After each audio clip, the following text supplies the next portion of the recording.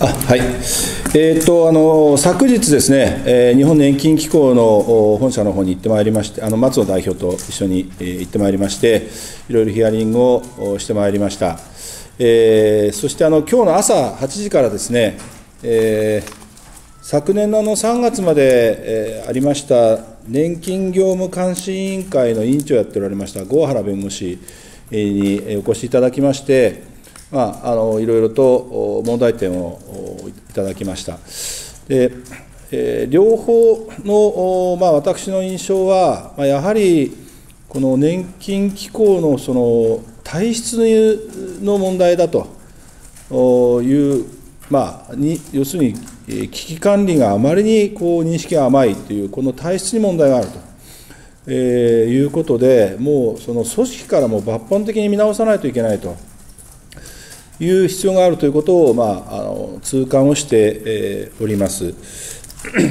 それであの、まあ実は昨年のその3月にその年金業務監視委員会というのを、えーまあ、廃止しまして、えーあの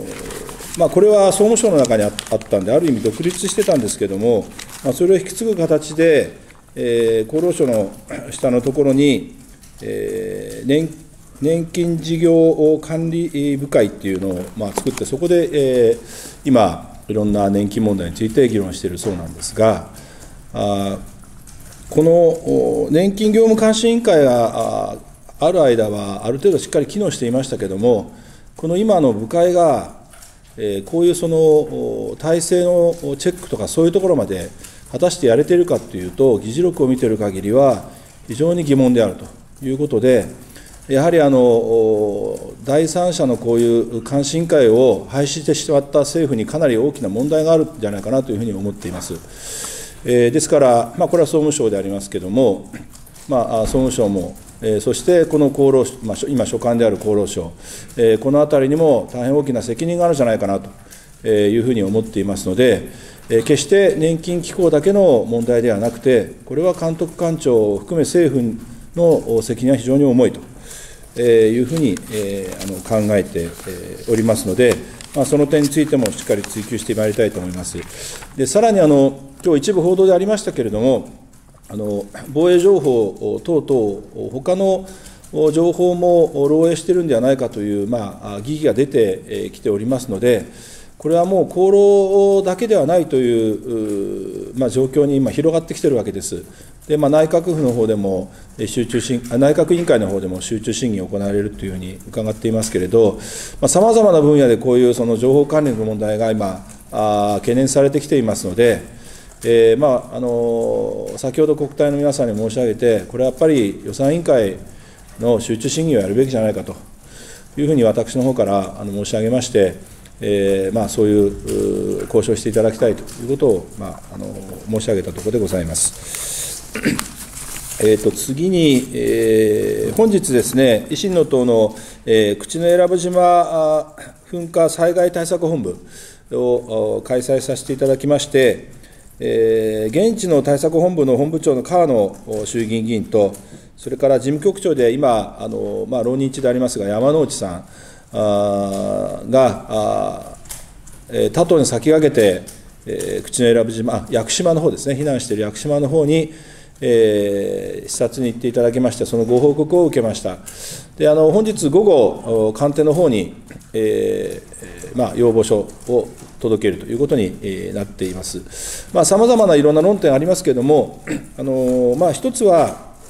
一つ大きな論点はですね、今、安倍総理があの仮設住宅を作るというふうにおっしゃっていますけれども、まあ、現地に行ってみる限りは、あの県営の住宅もありますし、いろんな民宿もありますから、そんな仮設住宅なんか作る必要ないと、えー、これはあの現地の方も、まあ、かなりの方がおっしゃっているようですから、あのあえてその仮設を作って、でさらにはその高齢者の方、一人暮らしの方、多いそうですから、あのそういうものを作って、またその孤独にしてしまうというようなことをするのは、あのかえって問題なんじゃないかなということで、あのそういう提案もしてまいりたいというふうに、えー、思っております。それからえー、あ平和安全、えー、特別委員会の件におきましては、まあ、いろいろ質疑を今、行っておりますけれども、あ官邸の申し入れは本日12時30分、あ院内の院内の大臣室ということになったそうです、えーかえー、官房長官の院内大臣室ということだそうです。えーとまあ、さまざまな論点がありまして、まあ、我々は今、その政府の案についての見解を今、問うているところでありますので、まあ、我が党の集約というのはまだこれからやっていくということになると思いますが、あの昨日の憲法審査会でのところでの、まあ、3名の参考人が、それぞれ集団的自衛権の行使は違憲であるというふうに、まあ、おっしゃられた点は非常に重いことだと捉えておりまして、あの、うんまあ、特にその与党が 推薦したあ学者までも違憲と言ってしまうということの、まあ今日は多分その質疑は行われていると思いますけれども、えー、これはやはり政府としてもその辺の見解をしっかりともう一度整理する必要があると思いますから、あのしっかりやっていただきたいというふうに考えております。それから、えー、派遣法の件でありますが、まあ、これはあの個人情報の漏洩のところで、少し、えー、先送りという状態になっておりますので、あの我が党で今、まだ結論を出しておりません、今、結論をウルブック交渉あの議論をしておりますけれども、あのまあ、対案として同一労働同一賃金法を出しておりますので、えー、この同一労働同一賃金法を、えー、与党があ、政府がですね、あ政府があの飲んでくれるのか飲んでくれないのか、あそういうことによっても、われわれの態度というのは変わりうるというふうに思っておりますので、えー、まああのえー、与党、政府の方から、政府・与党の方からも、あの最大限、えー、ここのところを、えー、まあ、えー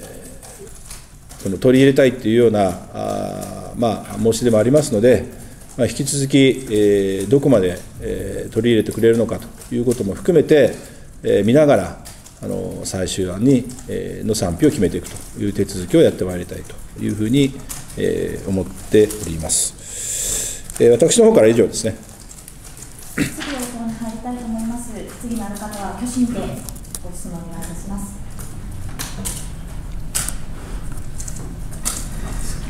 あ、私のです。あの昨日意見、あの憲法審査会の話ですけれども、あの3人の支持者の方がその全員意見だと言ったことに対して、官房長官はその法的安定性は審査されているので、批判というか、その意見という意見は当たらないというふうにおっしゃってました。が、この辺の政府の見解に関して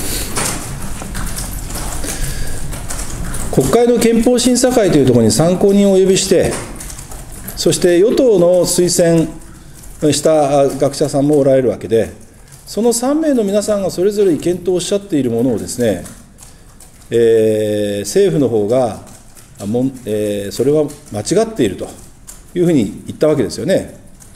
それは大変私は問題発言だと思いますよ。えー、国会でのそういうその参考人の陳述に対して、えー、まあ批判批判的というか、そういう反論したわけですから、やはりそういうものはあ重く受け止めるということはあの本来あるべき姿じゃないかなと思いますから、適切ではなかったと思います。他にいかがでしょうか？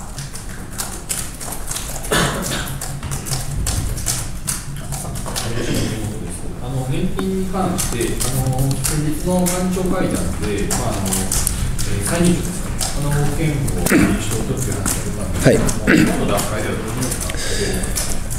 えっとあの今、えー、私の方で、えー、再入庁の法案をもう一度整理して、えー、提出するように今、法案の最終の詰めをしています。あの内容のところをもう一回精査しているのと、設置時期、まあ、以前出した法案は設置時期が、まあ、あの平成25年とかになってましたが、もう過ぎていますので、まあ、そういうのも含めて、えー、やらなきゃいけないと思ってますし、それと、あとは、えーまあ、今回、こういう情報漏洩の問題が起きましたんで、えーまあ、その情報管理のところをどうしっかりこう整備するっていう条項も書き込む必要があるのかもしれませんから、まあ、その辺もちょっと含めて、えー、やりたいと思います。でいずれにしてもやはりあの年金機構のもう組織の抜本的改革というのはどうしてもやらなきゃいけないと思っておりまして、まあ、我々はやっぱりその小細工するよりもう歳入を作ってですね、えー、もう大きくその、まあ、根本から変えてしまうという選択をした方がまあ、これまで消えた年金、あるいは第三者第三号被保険者の問題、えー、あるいはあの時効の問題、いろんなことをやっても、もう何度も繰り返すわけです、同じことを。で今回も基本的には起きてる、まあ、案件は違いますが、原因となっているものはもうほとんど同じですから、もう危機感の甘さ、管理の甘さ、もうここにつきますので、あのそういうものは、これまでも直せてこれなかったということを考えれば、もう抜本的に変える時期に来てるんじゃないかなと思ってます。他にございますでしょうか。はい。民主党の呼びかけっていうのは今はしません。あの我々で法案をしっかり固めて、でそれであのまあ民主党というよりはあの各党に呼びかけをしようと思ってます。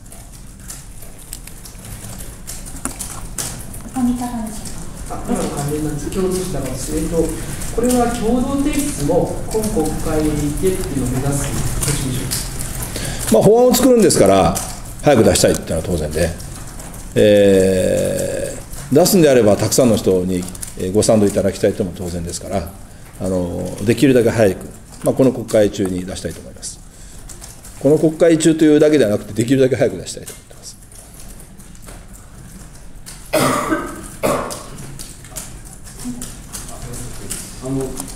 予算委員会の集中審議やるべきだということが、あの国会との調整で出たんですが、これ具体的にその中身としては、いわゆる情報セキュリティ全般あの、まあ、そういうことですね。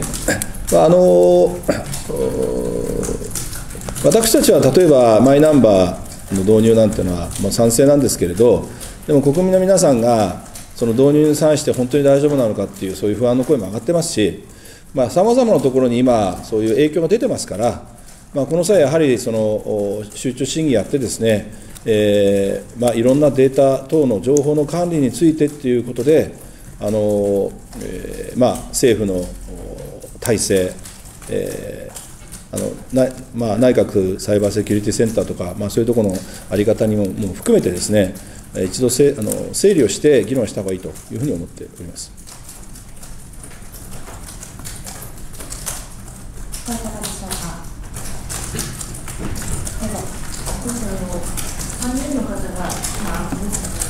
けなというだけに関してなんですけども、の政府のその見解をしっかりと整理整理する必要があるというのは、具体的にどうすればいいですか？いやいや、その、えー、まあ、論理構成が違うわけですよね、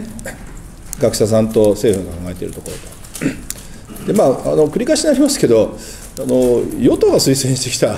あ学者さんが反対って言っているっていうのは、まあ、前代未聞というか、まああのあまり考えられないことなんですけど そこのところも含めてもう一度、えー、考え方をしっかりとその学者と政府の考え方の違いそのそこのどう埋めるのかその辺の考え方を一回整理した方が整理しないと、えー、まあ見る人から見ればですね、えー、結局学問的にはダメだと言っているものを政府が無理くりそういうふうに勝手に解釈しているというふうに思われかねませんので、その整理はしっかりした方がいいと思います。まあ、法案を出し直すなり、まあ、法案を出し直すところまで必要かどうかは分かりませんけど、やはりその この違いについてのしっかりした整理っていうのを、委員会の中ではやっぱりやる必要だと、やる必要があると私は思いますけど。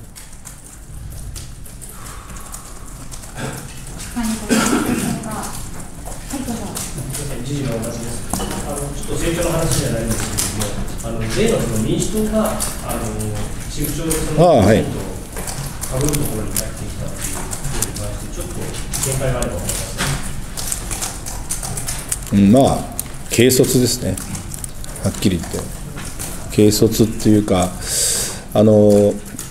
まあえ幹事枝野幹事長が軽率だったってまさにおっしゃっておられるんでその通りだと思うんですけれどもあのやっぱり我々は一番そのここに存在している原点は選挙なんですよね。選挙で、えー皆さんに、選ばれているからここにいるわけでありますから、まあ、言ってみれば本当にレーゾンデートルみたいなもんなわけですよ。だからそこのところというのは、まあ、これはあの国会の動きではなくてあの、えー政治家として申し上げますけど、えーやっぱり最大限丁寧にやらなきゃいけないと。であのいろんなところで、えー歩調を合わせて頑張っていかなきゃいけないと、そのどういう形になるはすればですね、えー巨大与党に、えーは協力してやっていかなきゃいけないっていうのは共通認識なんですから、であれば一番根源である部分、そこのところに配慮をしないっていうのは、これはもう、もう本当に私はあの、まあ、ちょっと配慮が足らなすぎると。うん、もうそれに尽きると思いますね。だから、まあ、あのそれはあの党が違うので、えーそれぞれの判断はご自由になさるのは結構ですけど、でも連携してやっていきたいっていうなら、やっぱりその事前にある程度ね、えー話をして、理解を求めてやっていくということは、やっぱりやる必要があるんじゃないでしょうかね。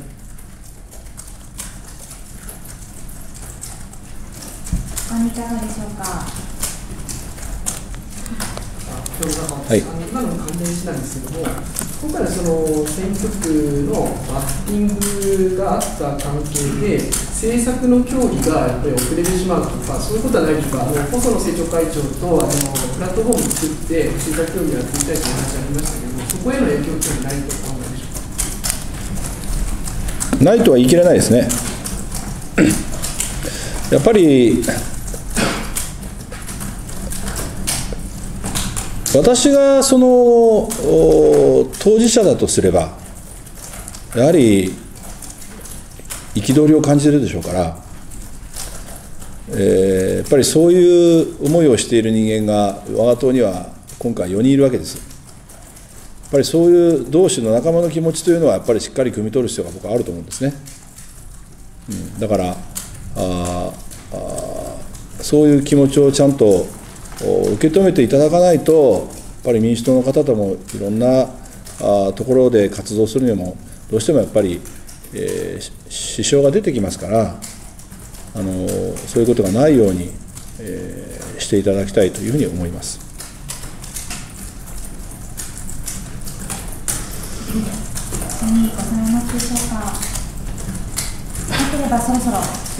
はい、ありがとうございました